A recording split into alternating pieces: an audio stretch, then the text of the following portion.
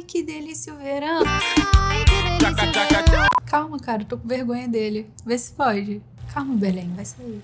Ai, que delícia o verão! Como vocês podem ver, estamos aqui com a nossa decoração passada, estamos reutilizando nosso hortelã, que a gente é ecológico. A bebida de hoje eu trouxe no intuito de ser uma bebida fácil de fazer e com os ingredientes fáceis de acesso. Todo mundo tem fácil acesso a eles. O nome da bebida vai ser uma homenagem à nossa querida amiga.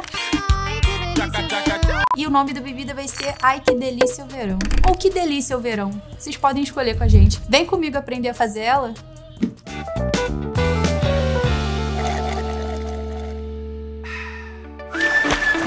Oi, gente, voltei. Pra quem não me conhece ainda, impossível não me conhecer ainda, mas eu sou a Manu, entendeu? E hoje eu vim trazer uma bebida bem refrescante para o verão. Devido a pedidos, encaixei o café nessa bebida. Isso mesmo, isso daqui é café. A gente vai preparar uma bebida com abacaxi, suco de abacaxi, preferencialmente que seja natural da polpa, gelo e água de coco. Faltou só o uísque, né?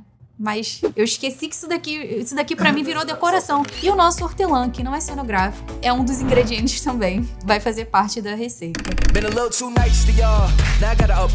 Então vamos preparar a bebida? Dessa vez eu trouxe o café coado. Esse mesmo que a gente toma em casa. O suco de abacaxi é o da polpa mesmo. Tiozinho da esquina, ó. A água de coco pode ser essa de caixinha mesmo. Se não tiver água de coco do, do, do... Entenderam, né? Gelo todo mundo tem em casa. Hortelãzinho vai lá no quintal da vovó. Começar pela água de coco. Agora vamos colocar o suco de abacaxi. Meu suco de abacaxi aqui ficou bem concentradinho.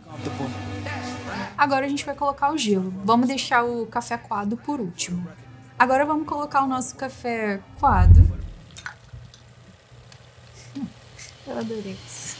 Finalmente ele venceu na vida. De tanto falar dele nos outros vídeos, resolvi trazer ele e ele vai trazer todo o frescor do café. Agora vamos colocar o nosso hortelã. Foi bem singela, delicada. E tá pronta a nossa bebida. Ela ficou assim. As mais línguas estão dizendo que ela tá lembrando mate, mas mate é maravilhoso também. Ficou maravilhoso, gente. A galera que não é muito adepta a tomar café sem açúcar, é suco sem açúcar, vocês podem ficar à vontade para vocês adoçarem da maneira que vocês quiserem, tá bom? Podem colocar sem medo, tá bom? Que vai ficar bom de qualquer maneira. Cara, o, ficou muito bonito.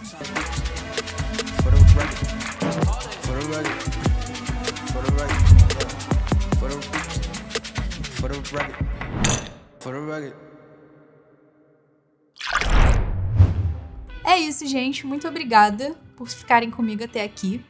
Espero muito que vocês gostem e espero mais ainda que vocês façam na casa de vocês. Pode me marcar, entendeu? Irei repostar. Sigam as nossas redes sociais. Se inscrevam aqui embaixo no canal, deixem um like de vocês, tá bom? Mas é isso, gente. Muito obrigada. Até o próximo vídeo. Oi. Calma.